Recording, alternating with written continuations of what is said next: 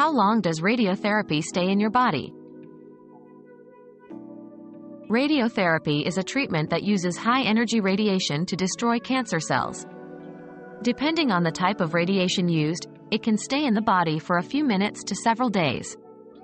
Most of the radiation leaves the body within a few hours, but some may remain for a few weeks. It is important to follow any instructions given by your healthcare provider to minimize exposure to others during this time.